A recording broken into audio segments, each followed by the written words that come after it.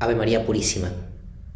En el día de hoy vamos a ofrecer nuestra oración a Dios pidiendo por el eterno descanso de las almas que sufren en el purgatorio por sus miradas libres.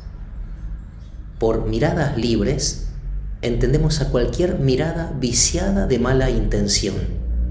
Es lo que en la primera carta de San Juan se llama concupiscencia de los ojos.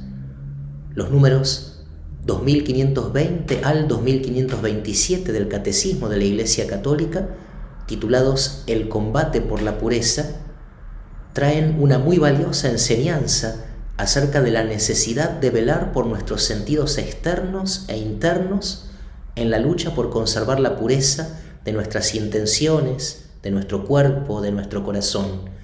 Les dejo en la descripción del video un link a estos pasajes del catecismo.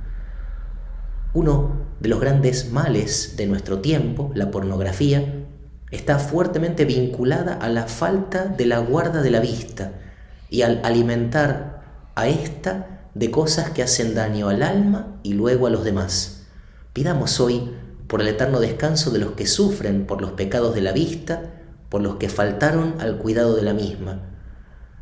Cuenta con mucho detalle San Lucas en su Evangelio que después de las negaciones de Pedro, Jesús se dio vuelta y lo miró, y que fue esta mirada llena de la fuerza del amor de Jesús lo que movió a Pedro a recordar las palabras del Maestro, hoy antes que cante el gallo, me habrás negado tres veces. Esa misma mirada del Señor es la que le obtuvo al apóstol la fuerza para su arrepentimiento y lágrimas.